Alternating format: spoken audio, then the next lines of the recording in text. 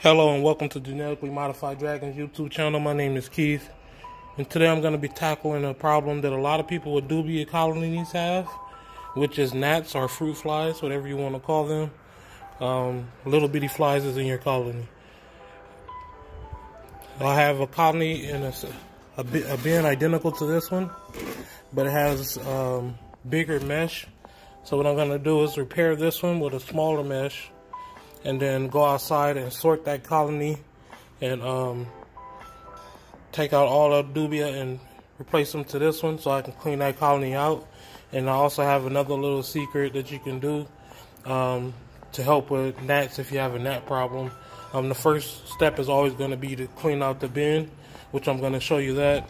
But there's something you can do just in case you have any egg cases that go in when you egg cases go in your um, clean tub when you finish it.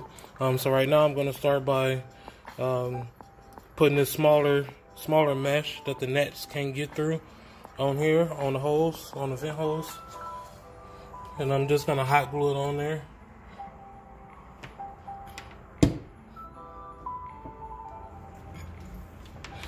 Uh, I did a video on this before on different types of bins but it's pretty much the same process. Um, I'm going to just tack tack the mesh down on four points on different sides of the mesh so that I can be sure to seal the whole thing down so no roaches or anything can get out or in. Just like that. Okay, you can take this time to subscribe if you're not subscribed and I'd like to welcome you to the channel as well. If you already subscribed, make sure your notifications are turned on. I'll be posting videos at 6 o'clock p.m. Pacific Standard Time daily. So make sure you have your notifications turned on and um, tune in for those times. At, at first, I was um, just doing videos at any time, but I'm going to try to be consistent and do it at 6 o'clock every day. So, yeah, subscribe if you're not subscribed already. If you have any questions, don't be scared to comment down below the question. I'm pretty good on answering um, all questions. Um, if I if I'm able to see it, if I don't see it on here, you can contact me on Instagram or Facebook, both genetically modified dragons. So contact me on those social media sites if you want to see more pictures of um, animals that I have. Uh, Instagram will be the best place. I also post on Facebook as well on my business page. So make sure you're following those uh, social media sites and and if you're new to the channel uh, thank you for subscribing and welcome.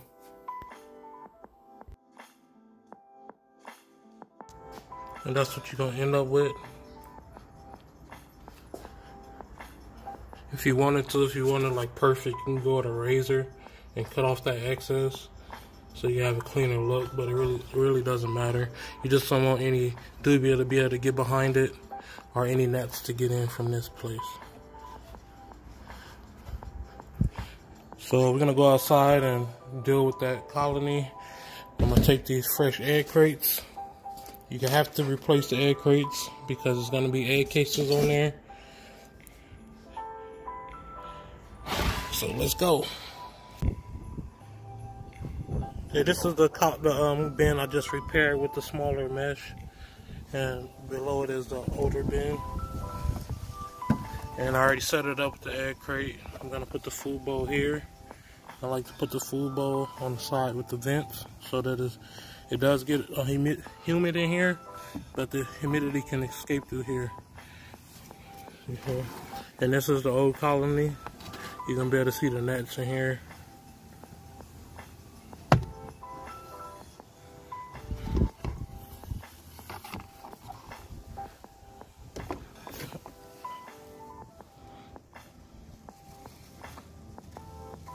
You see them?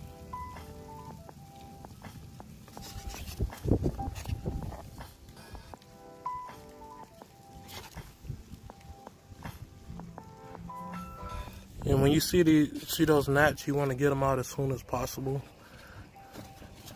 or clean the colony as soon as possible to stop them from infesting too much.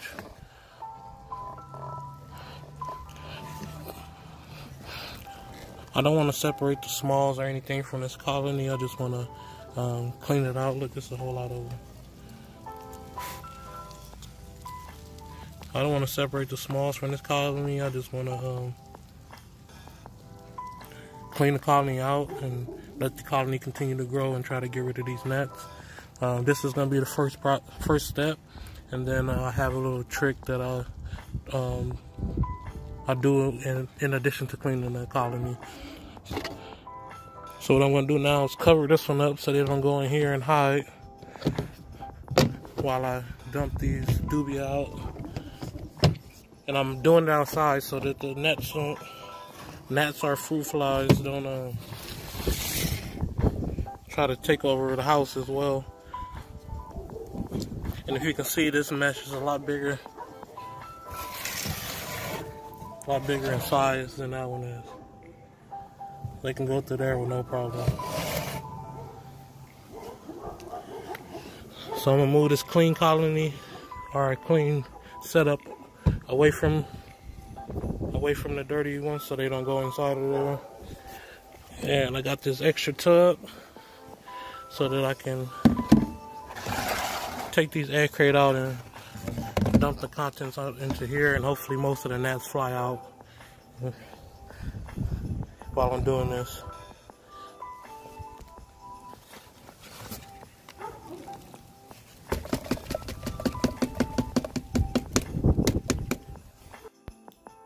At this time, I'm just knocking off all the dubia from the old egg crates into the um, empty bin. As you can see, it's a lot of frass falling in here with the dubia. Um, inside of that frass, sometimes you're gonna have egg casings from the um, from the gnats or fruit flies. I'm not sure what type of flies they are. I just know they're small fly, flies inside of the colony that I don't want inside of there. There's gonna be egg casings from those flies. Um, so I'm gonna tell you how to a way to get the dubia off of the um, frass and get them separated. So stay tuned for the rest of the video so I can show you how to um, take care of that problem as well.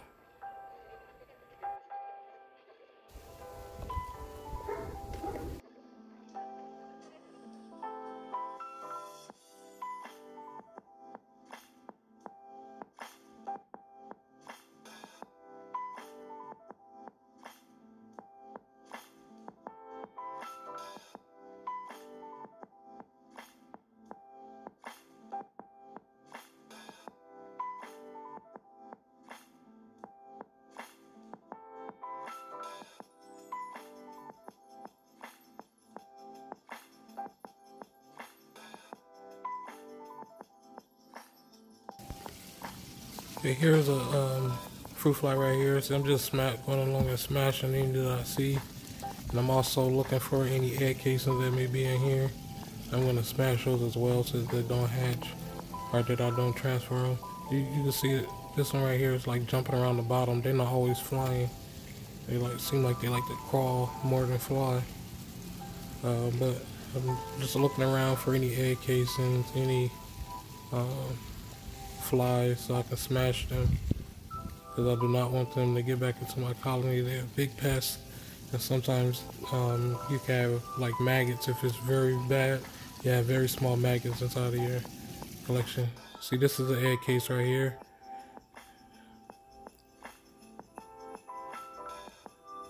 I just smashed it.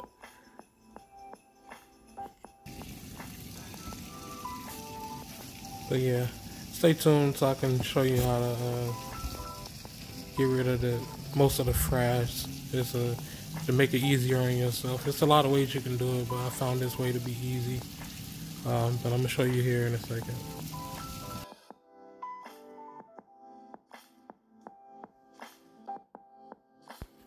I found it to be three main reasons for gnats to get into your dubia colony. Uh, number one being um, a, like a massive die off, like a lot of your colony has died off. Um, second being overfeeding, and third uh, being too much moisture inside of the colony. If you can control those three things, most likely you won't ever have a gnat problem. Um, what I did was over overfed, which led to too much moisture in the colony.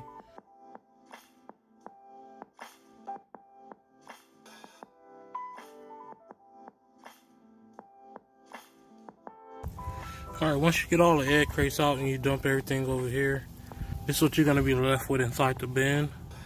So what I like to do is for the big adults, I take those out by hand.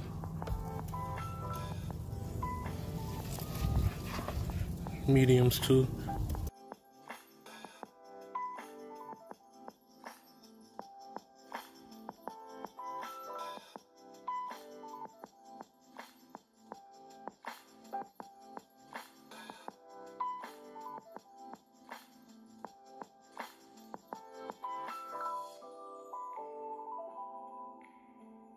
Once you get most of the um, bigger ones out, what I like to do is put a fresh egg crate in here.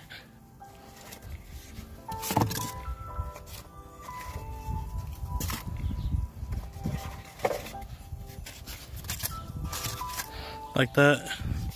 Then agitate the agitate the bin.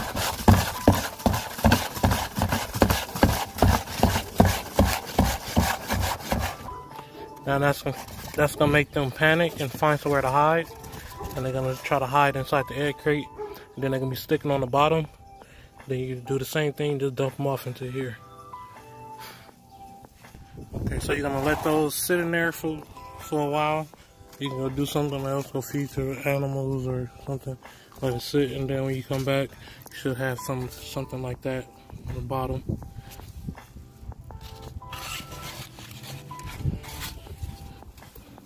You just do the usual and knock them off. And you can do that a few times.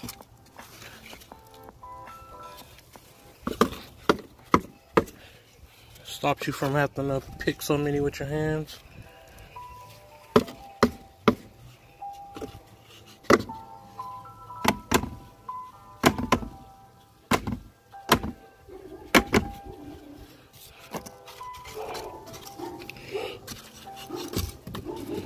So I'm gonna do it one more time.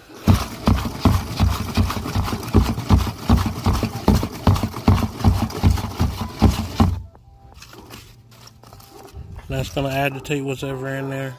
And they can go up and try to find somewhere to hide, like I said before. And what I like to do is come over here. And I'm gonna look through here and see if I see any gnats. And if I see any gnats, I'm gonna smash them. After going through and finding the gnats and the egg casings and smashing them, um, it's going to be the process of separating the frass just in case I missed any of the um, egg casings during this process. And now what I'm going to do, I'm going to see, I didn't see any gnats, so I'm going to put egg crates in here as well. And do the same thing.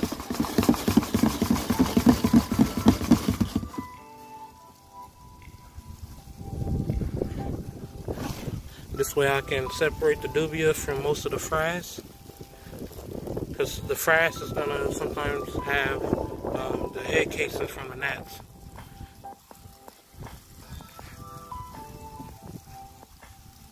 So if you separate as much frass as you can, you have less chance of reinfecting the dubia colony with the gnats or fruit flies. I'm not sure what they are. They're just little flies.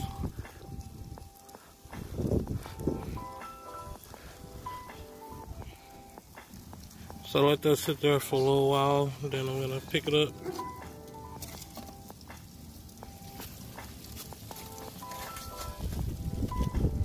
And then just put it in an empty container.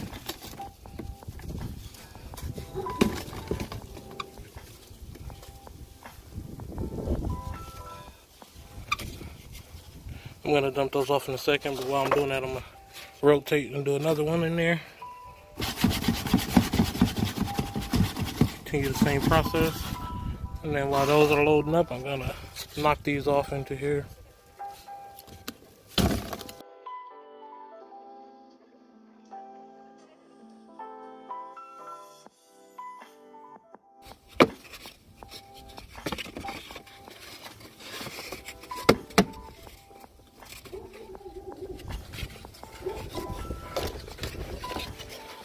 And, uh, then I'm gonna rotate it.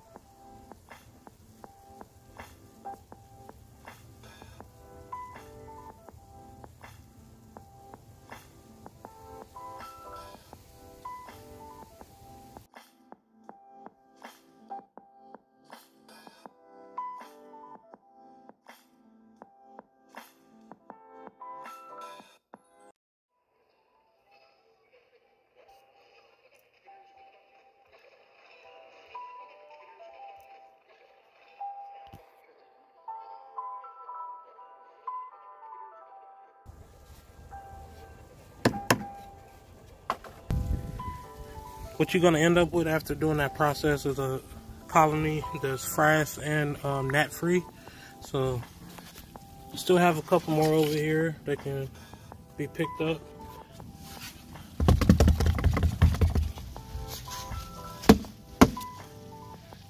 But I'm probably just gonna get the, the bigger ones out of here and uh, freeze the frass even with the smalls in it because it's not worth it going through to get all those.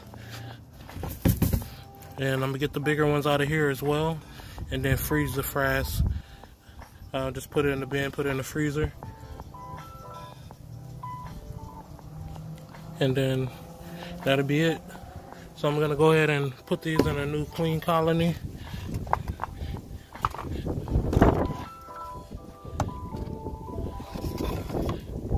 And let them continue to breed. I'll give them some food.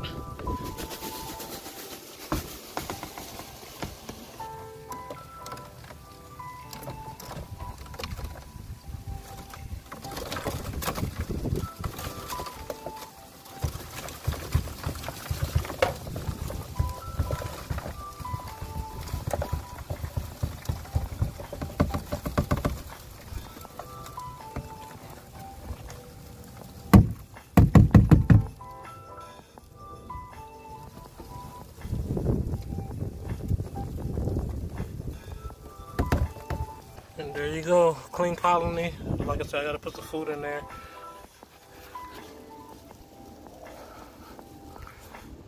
Put some food in there. Okay, now for the trick that I told you guys about, um, I was gonna show you. Um, I don't have a proper size bottle. I would like a Gatorade bottle, but the, the mini, the mini kind. That way it can fit in the um, tub with no problem. I won't be able to do it today completely, but I'm still going to walk through the process with you guys. Um, so you see, this is not enough clearance for me. So I would like the smaller one. It'll be about this high compared to this one. But I'm still, like I said, I'm to go through the same process so you guys can know what to do. Okay, so what you're going to need is a Gatorade bottle or any type of bottle, but you're going to want it to be a, a lower profile, like a shorter bottle. You're to need some vinegar, prefer, for, preferably apple cider vinegar. And then you're to need um, dishwashing liquid. So what you're to do is fill the bottle up about a quarter of the way. You're also to need a drill as well. Then you're to add some dishwashing liquid to it. There's no particular measurement, probably like a teaspoon, tablespoon. You're gonna mix it up to a soapy.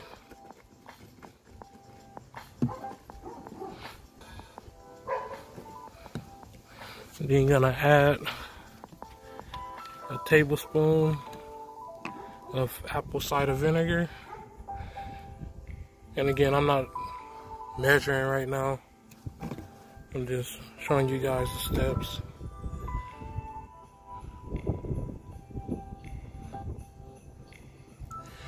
And uh, that the apple cider vinegar is gonna be like an attractant.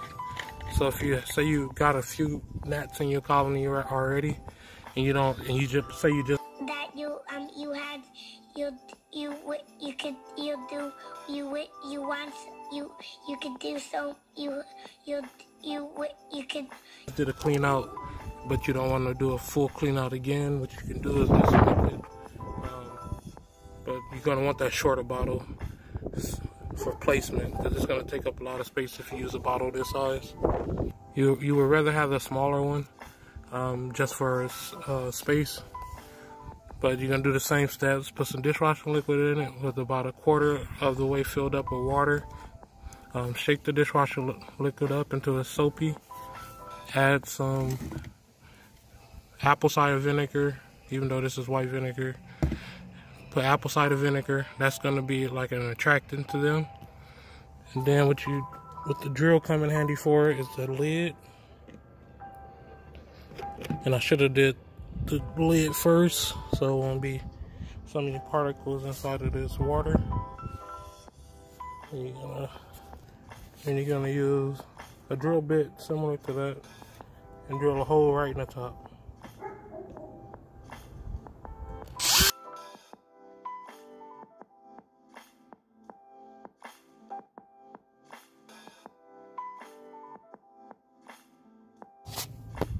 Once you drill that hole, a bigger hole would be better, but this will work as well.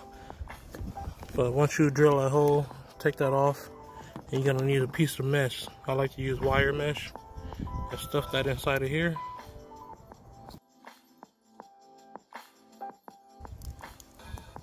That way no baby dubia can get in, but the gnats can.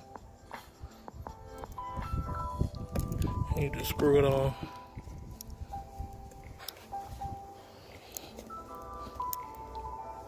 And you set that inside of your colony. And the gnats can go in there. And once they touch the water, they're going to be attracted by the smell of the vinegar.